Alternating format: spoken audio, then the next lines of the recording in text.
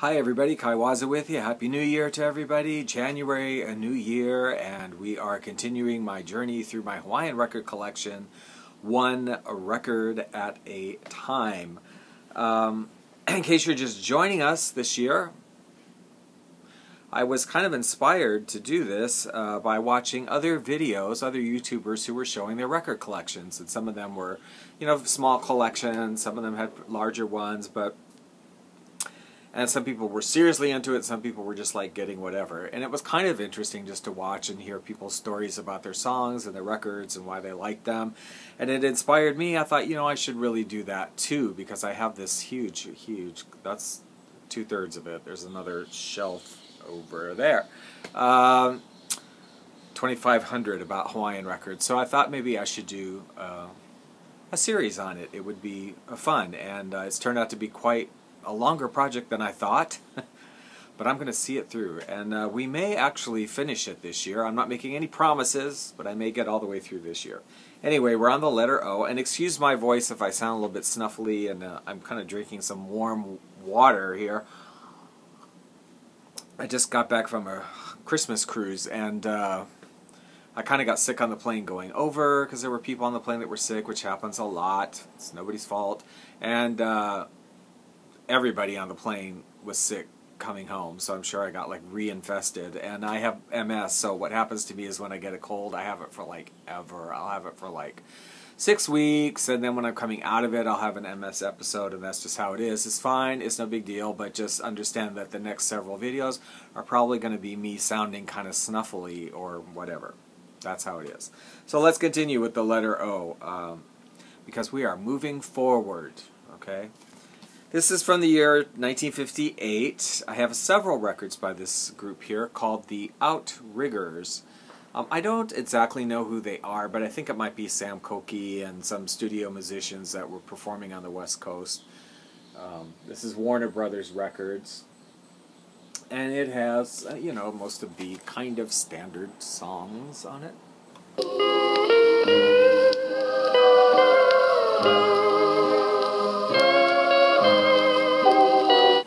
This album, I believe, is uh, instrumental. Rapture, it's called, and uh, the other ones from the Outriggers are, are vocal also. Uh, the next one comes the next year, 1959, Captivation.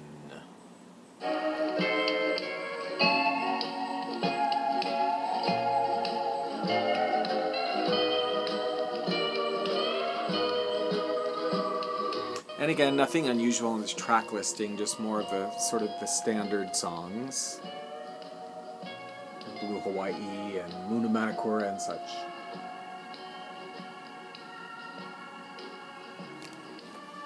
Oh, I should show the labels. I know some people like to see the labels.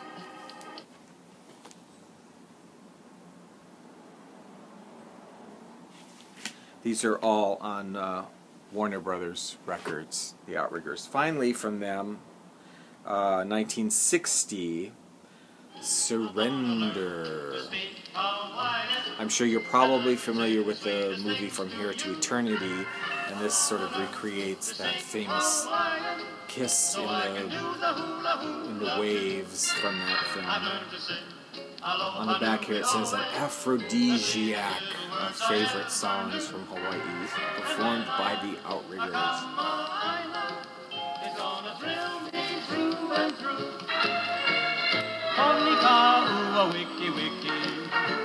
They taught me on the beach at Waikiki. Well, then I have uh, one more from them, which is just uh, also on Warner Brothers. It is just a compilation of songs uh, from the other three albums. Nothing new on it. Golden hits of Hawaii. Now we've come to a most interesting artist who uh, came to Hawaii in 1934, uh, originally from Nebraska uh, the name of Harry Owens. That will be familiar to some of you who are familiar with Hawaiian music. Uh, he ended up being the band leader of the uh, at the uh, of a what am I saying? A band leader of a band that performed for many years at the Royal Hawaiian Hotel. Hence the name Harry Owens and the Royal Hawaiians. A name that has significance, um, which I will explain shortly. Uh, this is one of their early albums, Hawaiian Melodies, Harry Owens and his Royal Hawaiians. This album featuring Hilo Hattie, also known as Clara Inter. The Princess Pupuli's not truly unruly to pass out papaya each day.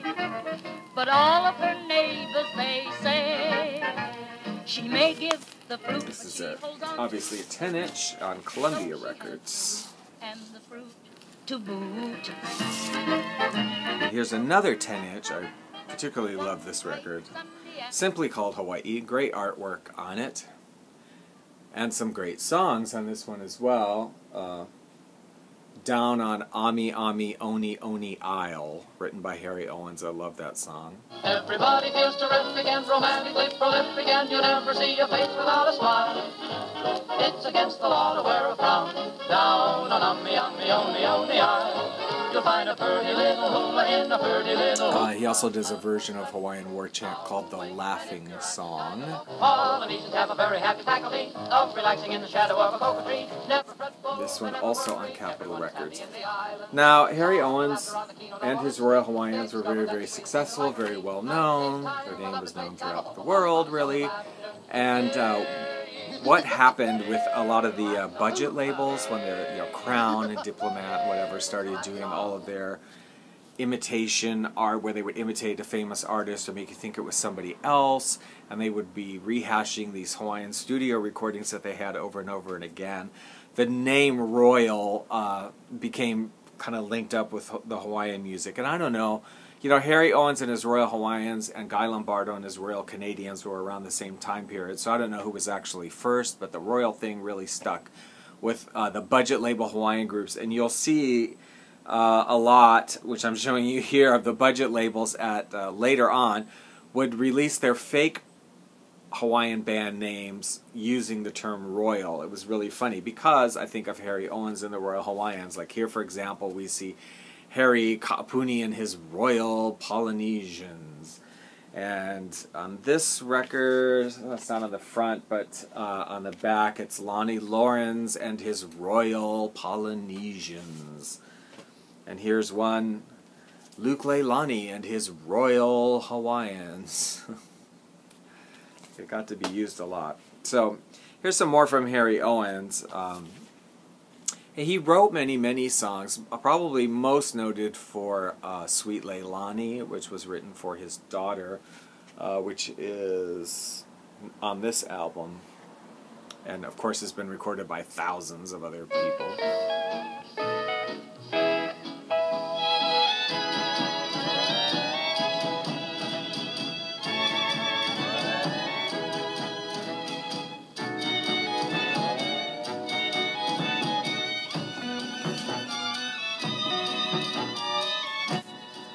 This one I have is not original. I mean, it's a reissue, later reissue.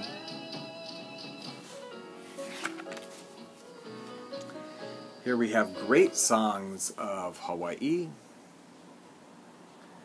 Coconut Grove is kind of a well-known song. I believe he wrote that too. Uh, these are all songs that he wrote on here. Voice of the Trade Winds, To You Sweetheart Aloha, very well known well, he had a part in writing some of them. Um, Hawaiian Paradise.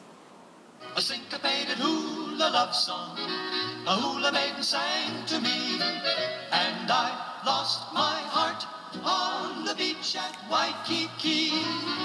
A blue Hawaiian moon was shining, the stars were blinking high above, and I got. Now, I've saved uh, the best for last. To me, my favorite Harry Owens album Polynesian Holiday. Kind of a rare recording. This is Capitol Records. This was music intended to be set to a pardon me to a television show or a movie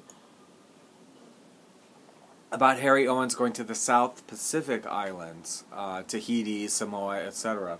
However, that I don't really know the story except that that show and that film never came about, so there was no Polynesian holiday film, whatever but they did release the music. And it's got some great songs on it, all Harry Owens compositions. Trade Wind, Lovely Tahiti. Uh, my personal favorite, Come Back to Rarotonga.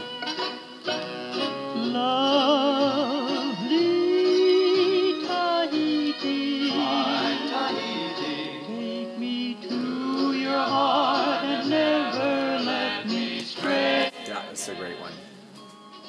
Uh, and then finally, the only I don't have anything in Exotica and South Pacific under the letter O except for this one record, which I'm just going to show you right here.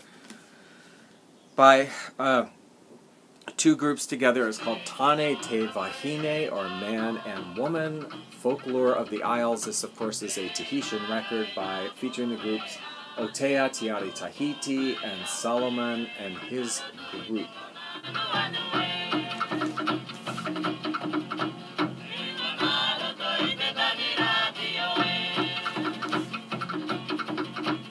That, folks, concludes the letter O. Yes, it does, which means that it's time for us to draw and see what letter we will go to next, as is traditional. From the book that I am currently reading, which is Urbane Travelers. Rather an interesting book, actually. Uh, it's account, uh, writing about the accounts of people who traveled like in the 15 and the 1600s. Really interesting. Far cry from a cruise, let me tell you. So let me see what letter we will go to next.